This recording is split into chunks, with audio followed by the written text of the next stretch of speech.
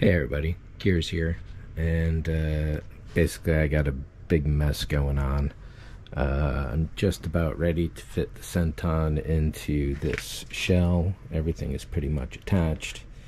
I got a big old mess of everything to clean up here, and uh, what else? This is going to work pretty well, I think, overall.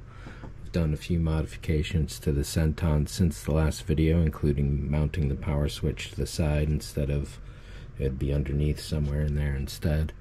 Uh, I got some spare bumpers in here because I actually destroyed one trying to get it off because the hex screw had stripped. So I had to make an incision, but this is good because having a couple spares around will be handy. Uh, what else? And also in today I got some 6 amp 14 volt batteries. So, uh, yeah, these are the new ones that'll be for this guy. And we'll see how the 6...